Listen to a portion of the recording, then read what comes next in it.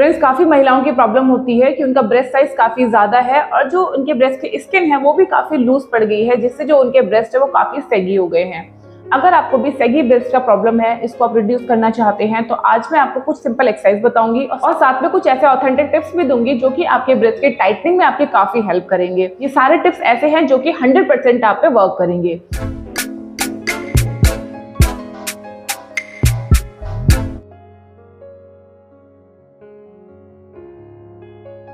देखिए, होता क्या है कि जो हमारे ब्रेस्ट की स्किन लूज पड़ती है, उसका सबसे बड़ा कारण होता है ब्रेस्ट के इलास्टिसिटी का कम होना। इसके बहुत सारे कारण हो सकते हैं। ये हार्मोनल इम्बेलेंस की वजह से भी हो सकता है, ये जेनेटिक भी हो सकता है, और ये आपके गलत ब्रास सिलेक्शन की वजह से भी हो सकता है, और और ये आपके बॉडी में न्यूट्रिशन की कमी की वजह से भी हो सकता है।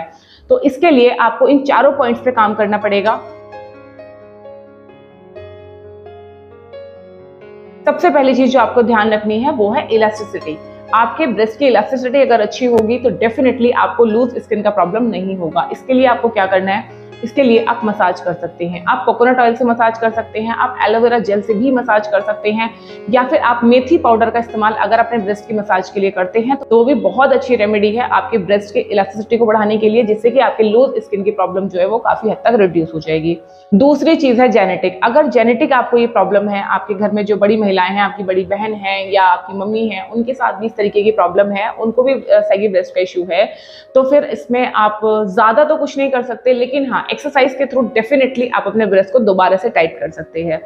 तीसरी चीज़ जो कि आपको ध्यान रखनी है, वो है आपका न्यूट्रिशन आपका न्यूट्रिशन बहुत ज़्यादा ज़रूरी है। अगर आपकी डाइट में प्रोटीन नहीं होगा कैल्शियम सही मात्रा में नहीं होगा तब भी आपको सही ब्रेस्ट का प्रॉब्लम होगा। तो इसके लिए आपको क्या करना है? आप, आपको अपनी डाइट में प्रोटीन बढ़ाना है। यहाँ पे एक चीज़ का आपको और ध्यान रखना है। प्रोटीन अगर आप ज़रूरत से ज़्यादा खाते हैं तो इससे आपका ब्रेस्ट साइज़ इंक्रीज होता है। लेकिन अगर आप सही अमाउंट में सही तरीके से अगर प्रोटीन खाते हैं इससे आपका ब्रेस्ट का साइज़ भी संतुलित रहता है और साथ ही साथ आपकी सही ब्रेस्ट की प्रॉब्लम भी कम हो जाती है। और नेक्स्ट जो पॉइंट आता है हमारा हार्मोनल इम्बेलेंस अगर आपको हार्मोनल इम्बेलेंस का प्रॉब्लम है तो फिर आप इसको एक्सरसाइज और डाइट दोनों के कॉम्बिनेशन से ही ठीक कर सकते हैं। इसके अलावा हार्मोन को बैलेंस करने के लिए कोई मेडिसिन नहीं है। सब जितनी भी मेडिसिन आप देखते हो मैक्सिमम जो मेडिसिन है वो टेम्परेरी है, कोई उनका परमानेंट सोल्यूशन नहीं है। ब्रेस्ट टाइटनिंग का जो परमानेंट सोल्यूशन है, वो है आप इनकी प्रॉपर टाइप से मसाज कीजिए डेली एक्सरसाइज कीजिए और अपनी डाइट अच्छी रखिए। ये चीज़ें आपके हार्मोन्स को भी बैलेंस करेंगी और आपकी स्किन की इलास्टिसिटी को भी इंक्रीज करेंगी। तो चलिए, अब बिना देरी के हम आज की एक्सरसाइज देख लेते हैं। सारी एक्सरसाइज बहुत सिंपल है। आप खड़े होकर भी कर सकते हैं, बैठ के भी कर सकते हैं टीवी देखते देखते भी कर सकते हैं और आप किसी बातचीत करते करते भी कर सकते हैं, सोने से पहले अपने बेड पे भी कर सकते हैं।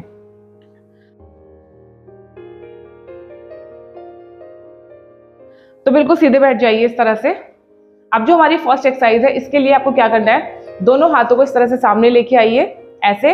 अब एक हाथ को पूरा ऊपर लेके जाएँगे इस तरह से एंड देन बैक फिर दूसरा हाथ पूरा ऊपर इस तरह से एंड देन बैक अब स्टार्टिंग में तो आपको ये इसी स्पीड से करना है, ऐसे धीरे धीरे, और बाद में आपको इसकी स्पीड को थोड़ा सा बढ़ा देना है। किस तरीके से? चलिए दस बार आप मेरे साथ में कीजिए।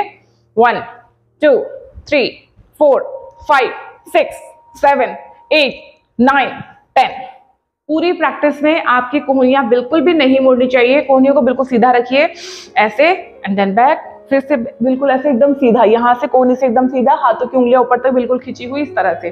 जब आप ऐसे हाथ को ऊपर स्ट्रेच करेंगे तो आप देखेंगे साइड में यहाँ पूरे पे आपको काफ़ी अच्छा स्ट्रेच आएगा।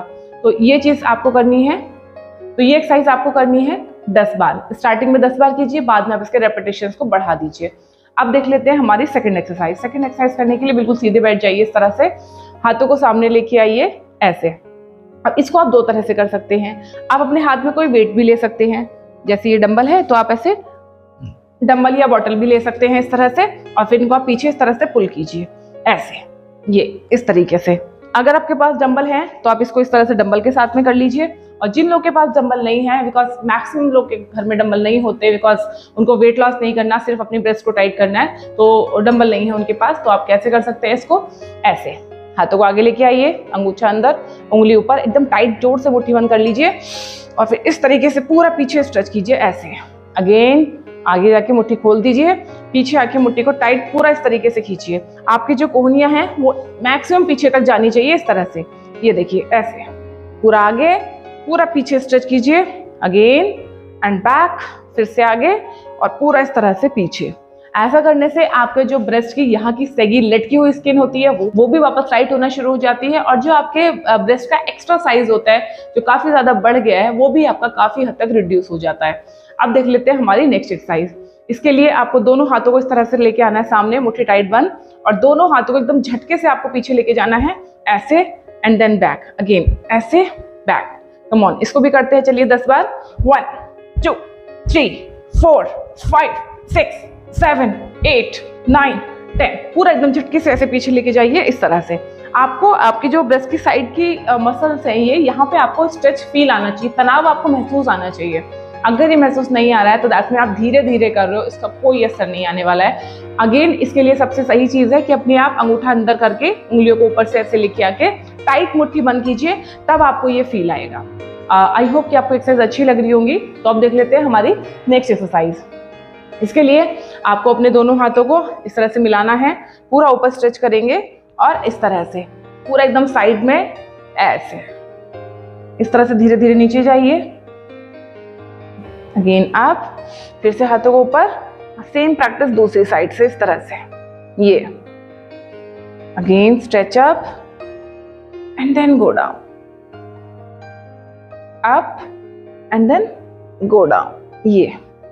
इस तरह से। फ्रेंड्स अब देख लेते हैं हमारी नेक्स्ट एक्सरसाइज ये भी काफ़ी सिंपल एक्सरसाइज है। इसको भी आप आराम से मैट पे बैठे बैठे या बेड पे बैठे बैठे कर सकते हैं। इसके लिए दोनों हाथों को आप आगे लेके आइए। इस तरह से पूरा हाथों को मिला दीजिए और फिर दोनों हाथों को साथ में आपको ऊपर लेके जाना है और ऐसे घुमाते हुए फिर से आगे। पूरा ऊपर, घुमाते हुए आगे, ऐसे। पूरा गोल गोल। मेक श्योर sure कवर को सीधा रखेंगे। सामने की तरफ़ देखिए, पूरा इस तरह से हाथों को गोल गोल घुमाते हुए आगे से पीछे लेके जाइए दस बार और दस बार ऐसे। ऊपर से पूरा ऐसे, आगे से पीछे, ये, इस तरह से, ऐसे। पूरा गोल सर्कल बनाइए, इस तरीके से, ये, ऐसे। ये चारों एक्सरसाइज आपको करनी है और इन सबके साथ साथ एक जो बहुत इंपॉर्टेंट पॉइंट पहले छूट गया था, वो मैं आपको एक्सप्लेन कर देती हूँ, वो है आपका ब्रा का सिलेक्शन आप हमेशा सही साइज़ का, सही शेप का ब्रा पहनिए। अगर आपको नहीं पता है कि कैसे ब्रा का सिलेक्शन करते हैं, कौन सा ब्रा आपके लिए परफेक्ट है बेस्ट है, कैसे चूज़ करना है तो इसमें मैं ऑलरेडी एक वीडियो बना चुकी हूँ, जिसका लिंक मैं आपको इसी वीडियो के लास्ट में दे दूँगी। डेफिनेटली आप उस वीडियो को ज़रूर देखिए। मैं कोई ऐसे नहीं बता रही कि आप कौन सी कंपनी की ब्रा लोगे। मैं सिर्फ़ आपको ये बताऊँगी कि आपके लिए कौन सी ब्रा बेस्ट है, कैसे आपको चूज़ करना है, कैसे आपको साइज़ सेलेक्ट करना है। आप उस वीडियो को जब देखेंगे ना तो आपको बहुत सारे डाउट आपके क्लियर हो जाएँगे और डेफिनेटली वो आपको काफ़ी ज़्यादा हेल्प करेंगे। क्योंकि कई बार ऐसा होता है कि हमारा ब्रेस्ट साइज़ ज़्यादा नहीं होता, लेकिन ब्रा सिलेक्शन गलत होता है, जिसकी वजह से हमें ऐसा लगता है कि हमारे ब्रेस्ट जो है काफ़ी बड़े हो गए हैं या काफ़ी सगे हो गए हैं। आई होप कि आपको ये इन्फॉर्मेशन और वीडियो ज़रूर पसंद आई होगी। इस तरीके का और कंटेंट देखने के लिए चैनल को सब्सक्राइब कर लीजिए। अपना ध्यान रखिए, खुश रहिए फिट रहिए। Thank you